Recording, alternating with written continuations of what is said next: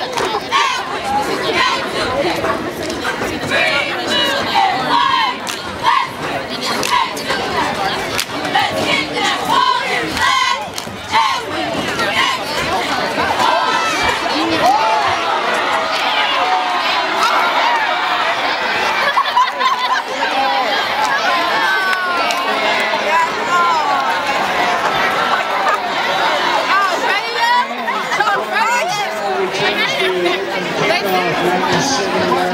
Touchdown. Bayside leads 6-0.